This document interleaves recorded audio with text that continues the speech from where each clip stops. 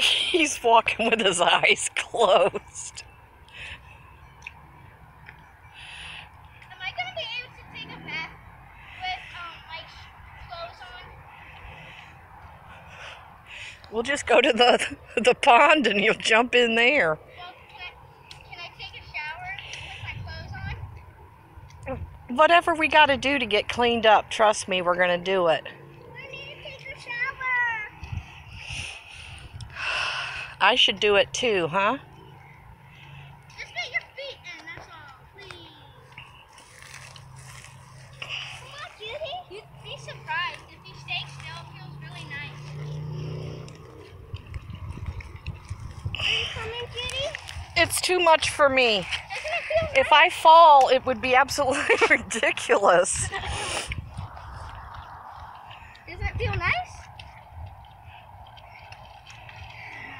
Look, Chloe. No, don't! Ew, Follow me. You take my shirt off? You want to carry you? No, don't take your shirt off. The cops will think that some kind of weird stuff's going on. Ain't nothing weird here. Ugh.